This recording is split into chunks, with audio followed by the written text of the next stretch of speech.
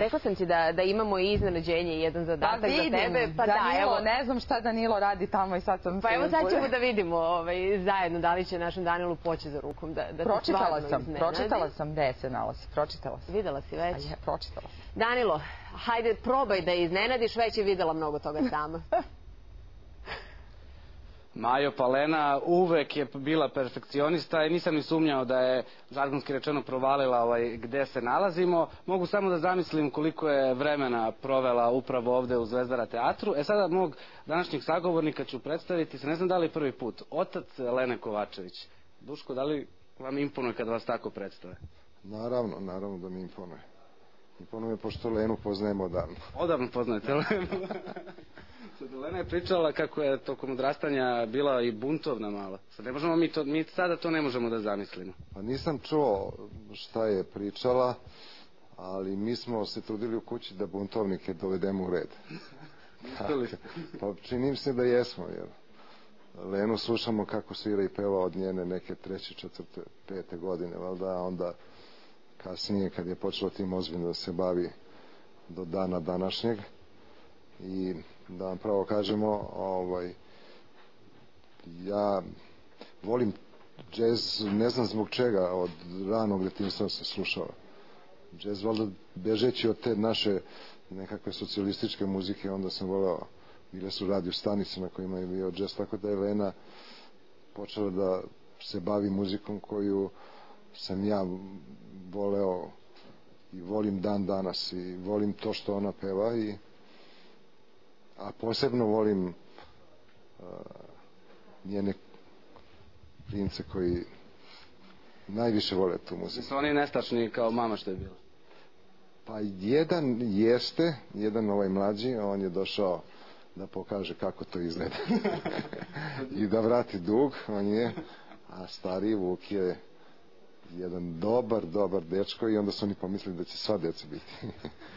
Tako Sad Lena nije jedini razlog našeg dolaska danas u Zvezdara teatar. Tu smo da najavimo i novu sezonu koja počinje sa predstavom Pasivno pušenje. Da, da. Upravo je bila e, prva generalna proba i e, to je jedan komad o jednom našem nesrećnom čoveku Srbinu koji sticam okolnosti nosi čerki u Pariz sarmu kao što, kao što je red a carinici pomisle kao što je danas sve što se prenosi sumnjivo da je to jedan opasan tovar i da možda digne Pariz u vazduh. Da li ste vi kod Lene u Amsterdam nosili možda sarme? Nisam, nisam, nisam. Moja supruga je išla desetak i ne znam već koliko puta. Ja sam uvek nešto bio sprečen i nismo, nismo trgovali sa hranom, ali su nosile se neke druge stvari koje su bile uvek dragocene za te mlade ljude tamo. Tako da, evo, kao što ste rekli, 8. će biti premijera prvog komada u ovoj sezoni, onda drugi komad bi trebao da bude negde polovinom novembra i treći do nove godine. Imamo tri premijere u ovom...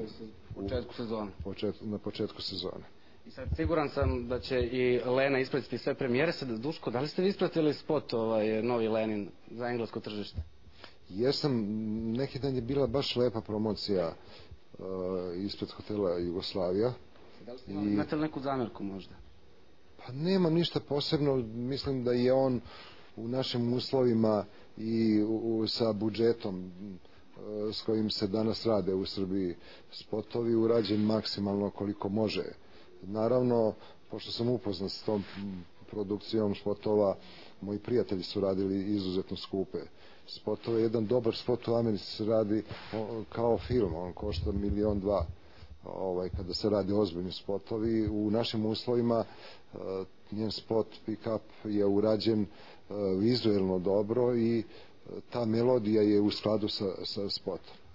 Hvala najlepše. Da. Kada im ove sarme, ovaj, ne mogu da se ne zapitam kakve sarme pravi Lena, ali to ćemo da. sad sačekamo njen odgovor. Vidite, vidite kako je to opasno kada pogledate. Opasno, opasno, opasno. Ništa opasnije nego loša sarma.